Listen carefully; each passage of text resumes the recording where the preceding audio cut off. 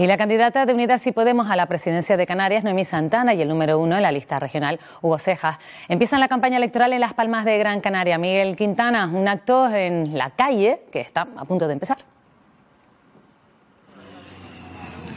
Sí, aquí en el popular barrio de Chamán, en este conocido mirador con el fondo de la ciudad baja de Las Palmas de Gran Canaria, donde unidas sí podemos hacer este arranque de campaña. Estamos con su candidata a la presidencia del gobierno, con Noemí Santana.